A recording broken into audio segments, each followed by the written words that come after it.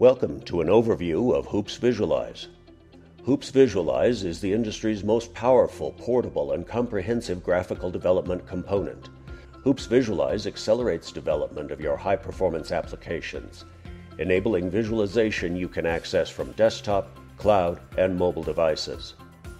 Using an open and modular architecture, Hoops Visualize offers a higher level API that gives your developers access to a powerful underlying suite of integrated visualization functions without requiring developing graphics infrastructure on top of lower level standards like OpenGL or DirectX.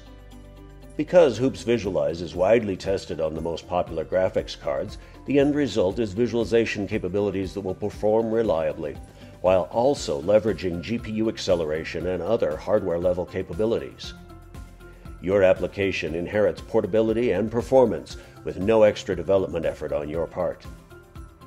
Hoops Visualize provides other advanced features, such as clash detection and professional annotation options, giving your applications real world capabilities across any number of industries and application areas. Hoops Visualize includes reference applications that reduce your learning curve in integrating advanced visualization capabilities into your application.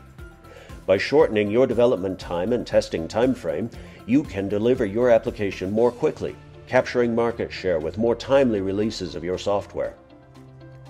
Key features of Hoops Visualize include integration with Spatial's ACIS and CGM, rich 2D, 3D integrated scene graph creation and management, support for optimal rendering on OpenGL and DirectX, large model visualization for real-time viewing of large datasets, advanced sectioning on multiple planes for creating cutaway views, Hoops Visualize is tightly integrated with Spatial's modelers, ensuring a rock solid development environment for higher quality applications, reduced development costs, and quicker time to market.